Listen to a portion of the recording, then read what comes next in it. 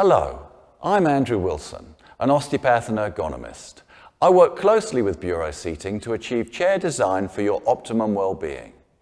It's worthwhile taking a little time to get to know your new chair and to understand how to use the adjustments so you can enjoy the excellent ergonomic features. To set the seat height, locate the right hand lever. To raise the seat, lift the lever while standing and release at the desired position. To lower the seat, lift the lever while seated and release at the desired height.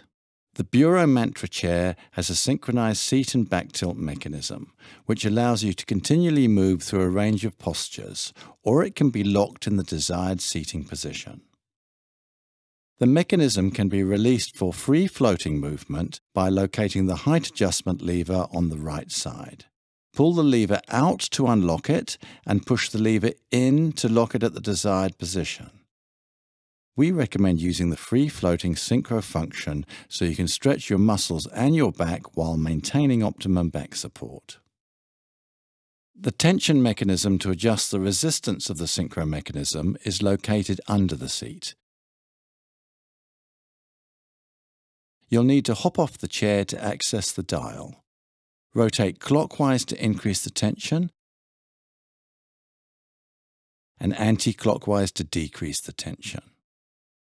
To adjust the seat depth, locate the lever on the right front side of the seat. Holding the lever up releases the lock and you can slide the seat forward or backwards. Releasing the lever locks the mechanism in the desired position. Aim to sit with your hips a little higher than your knees with a forward sloping thigh, while making sure there are no pressure points. To set the back height, firstly raise the back to the highest position, then allow the back ratchet to fully disengage, dropping the back to its lowest position. Now slowly lift the back to your desired height at one of the ratchet back height positions. The Buro Mantra chair has an adjustable lumbar support. If you reach behind the chair, you can move the lumbar support up or down to adjust the support.